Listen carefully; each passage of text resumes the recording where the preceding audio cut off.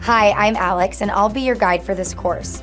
I'm here to share some exciting news about how much organizations can save when they upgrade to Acrobat 10. What are you hearing from your customers about the main challenges?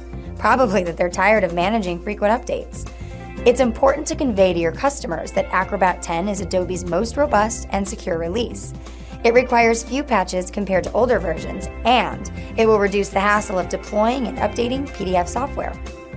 After completing the course, you'll also know exactly what to offer.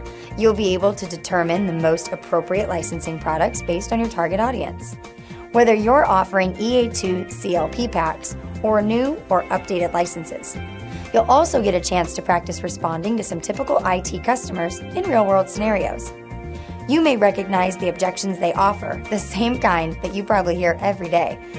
Let me tell you a little bit about taking this course online. If you want to read along or review, click the transcript button. To go back to any lesson, click the show menu button and then click the lesson links. If you need to leave before you finish, don't worry because the course bookmarks your place. I'll be back later to give you some feedback. Click next to get started.